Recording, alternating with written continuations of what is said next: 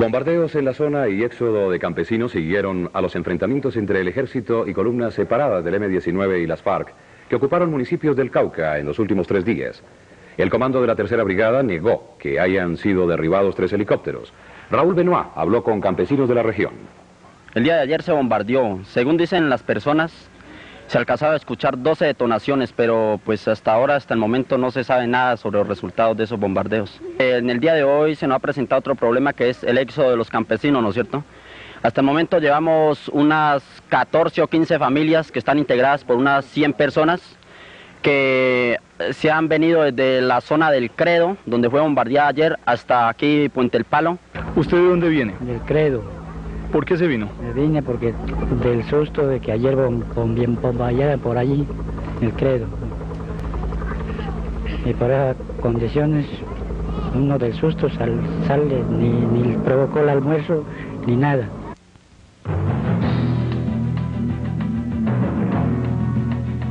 Noticiero Prome. Y en el Cauca, un grupo subversivo fijó su posición en torno a la marcha de la paz en el país. Raúl Benoit amplía esta información. El comandante general del M-19, Iván Marino Ospina, anunció en un lugar de la selva caucana que el 24 de julio el grupo subversivo que él representa y el EPL firmarán un acuerdo de cese al fuego con el gobierno. Los dirigentes del M-19 concedieron una rueda de prensa anoche a varios medios de comunicación, la cual se efectuó en una finca campesina de Timbío, Cauca.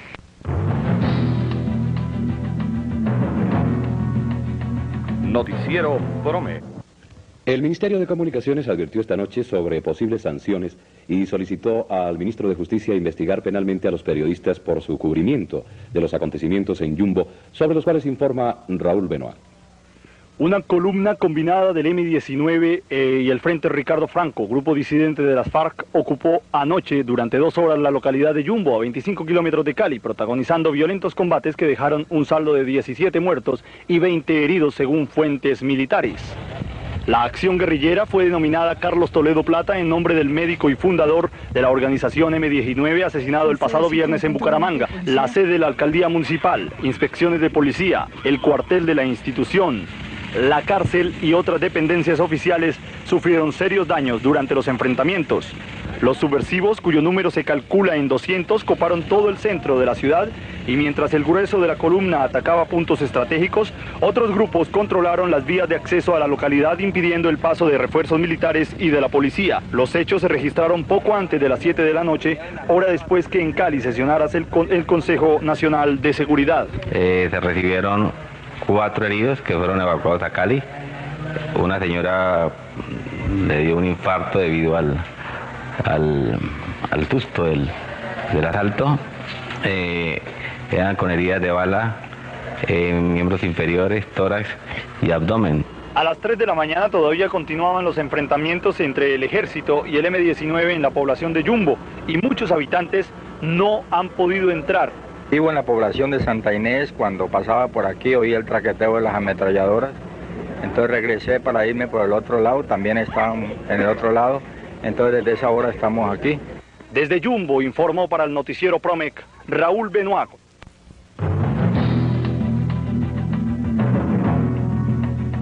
Noticiero Promec pueblo de unos 30.000 habitantes fueron recibidas miles de personas de veredas vecinas que llegaron hasta aquí para respaldar los propósitos de paz del gobierno nacional. Pero, ¿qué viene después de esta unión de fuerzas entre el gobierno y la guerrilla? Oigamos a Iván Marino Ospina. Después de este cese al juego que hemos firmado con el gobierno nacional, viene la incorporación de todos nuestros hombres, nuestras fuerzas, a la preparación del gran diálogo nacional para buscar la democracia que en Colombia necesitamos. ¿Cuál va a ser su real contribución a la paz?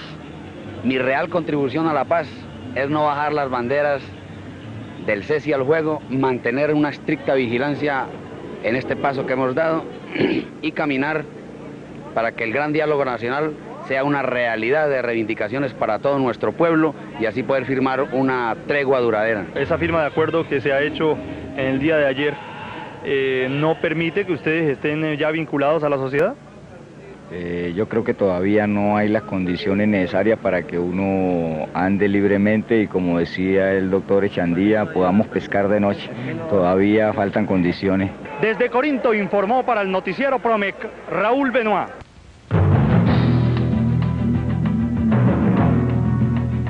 Noticiero Promec. A donde retornó la calma hoy fue al Cauca, después del cese al fuego pactado entre la guerrilla y el ejército hasta enero. Raúl Benoit informa desde Corinto. Con una tensa calma se empezó a vivir una aparente tregua navideña que se espera se prolongue hasta el año nuevo en la zona de San Pablo en jurisdicción del municipio de Corinto. Tropas del ejército iniciaron su retirada temporal y por la parte guerrillera han cesado los hostigamientos. La Cruz Roja cumplió su misión de rescate de heridos graves. Dos de ellos se encontraban hospitalizados en el departamental del Valle, pero fueron dados de alta. Versiones del grupo subversivo dicen que los muertos de su lado solo ascienden a tres, aunque el comandante de la tercera brigada aseguró en declaraciones al noticiero Promec que los muertos son 12 guerrilleros y un soldado. En Corinto y zonas aledañas, al igual que en Cali, a esta hora la situación es de completa calma. Para el noticiero Promec informó Raúl Benoit. Noticiero Prome.